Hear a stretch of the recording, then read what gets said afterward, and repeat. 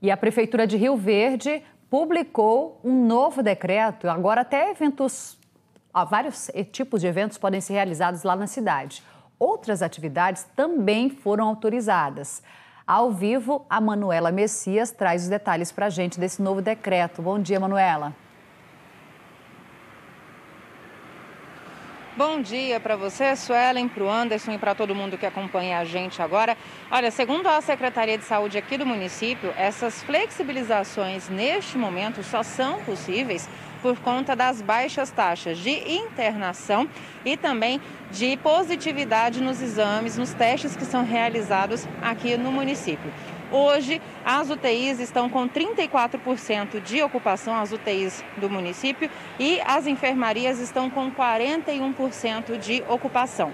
Mas então o que, que vai mudar agora com esse novo decreto? Vamos lá que a gente preparou uma listinha para vocês entenderem melhor quais são essas mudanças.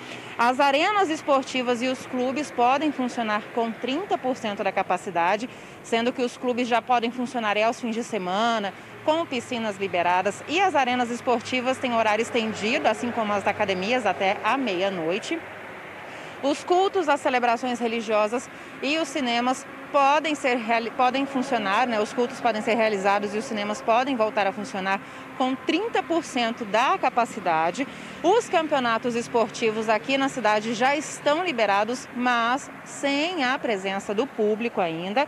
E os eventos sociais já podem ser realizados com lotação máxima de 140 pessoas. Mas olha, a organização desses eventos, é, desses eventos sociais antes que eles sejam realizados, precisa entrar ali no site da prefeitura, cadastrar esses eventos para que a prefeitura acompanhe se eles estão seguindo aí as, as recomendações sanitárias neste momento de pandemia. Os espaços comuns dos condomínios também estão liberados com este novo decreto. A gente conversou com o coordenador do Centro de Operações Emergenciais em Saúde aqui de Rio Verde sobre essas flexibilizações, sobre esse novo decreto. Vamos ver o que, que ele falou sobre isso. As fiscalizações vão continuar, o monitor Covid vai estar nesses locais, né, clubes, academias e, todos, e toda a rede né, de economia da, da cidade.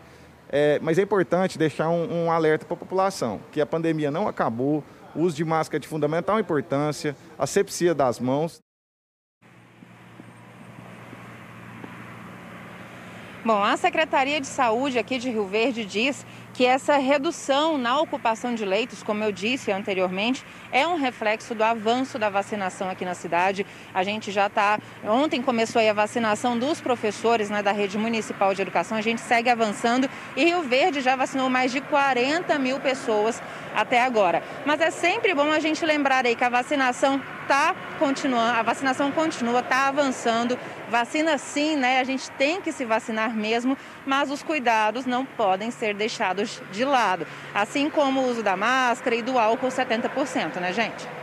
De forma alguma dá para baixar a guarda, né? E daqui a nossa torcida para que os protocolos sejam seguidos, para que os eventos sejam realizados dentro da mais absoluta segurança, né, Manuela? Muito obrigada pelas informações.